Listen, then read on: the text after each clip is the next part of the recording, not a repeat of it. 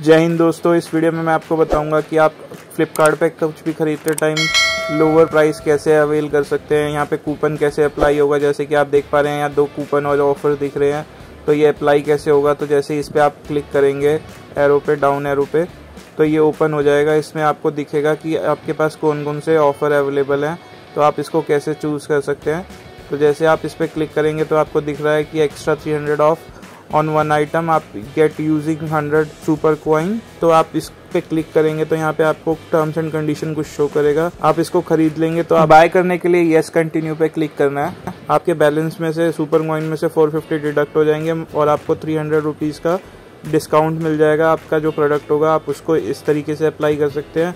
और ये five percent cash back है, ये आप पेमेंट करते टाइम इसको आपको अवेल कर सकते हैं। तो जैसे कि आप देख पा रहे हैं, मैं बाय नाव पे जाऊँगा। और ये आपको कुछ इसके साथ प्रोडक्ट खरीदने के लिए बोल रहा है तो आप इसको स्किप कर सकते हैं।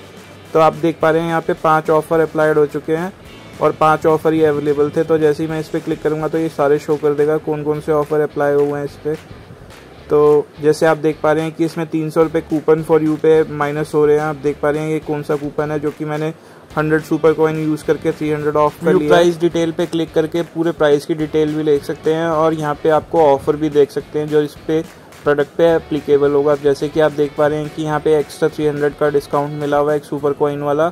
और आप इसमें 10 परसेंट ऑफ़ का डिस्काउंट ले सकते हैं। एसबीआई क्रेडिट कार्ड से ई e की पेमेंट के थ्रू और 5 परसेंट कैशबैक ले सकते हैं। फ्लिपकार्ट एक्सिस बैंक के पेमेंट के थ्रू करेंगे तो। तो जैसे कि अब मैं यहाँ पे पेमेंट करूँगा, आप देखेंगे कि नेक्स्ट पे कंटिन्यू करके पेमेंट के लिए जाऊँगा। तो वहाँ पे आपको शो भी कर देगा। मेरे पास फ्लिपकार्ट एक्सेस कार्ड भी है तो आप इसमें देख पाएँगे कि आपको वहाँ पे कैशबैक आपको ऐसे शो करेगा। अगर मैं फ्लिपकार्ट एक्सिस बैंक से पेमेंट करूँगा अदरवाइज़ मैं किसी और क्रेडिट कार्ड से पेमेंट करना चाहता हूँ तो यहाँ से उस क्रेडिट कार्ड की डिटेल ऐड कर सकता हूँ। यहाँ पे जैसे ही मैं इस पर क्लिक करूँगा और कंटिन्यू पे क्लिक करूँगा तो आप देख पाएँगे कि यहाँ पे क्रेडिट कार्ड नंबर मांगेगा वैलिडिटी कब तक की है और इसका सी नंबर क्या है। जैसे ही मैं ये सारी डिटेल फिल कर दूँगा और उसके बाद पे पे क्लिक करूँगा तो मेरे पास एक ओटीपी आएगा। क्रेडिट कार्ड के रजिस्टर्ड मोबाइल नंबर पर आएगा।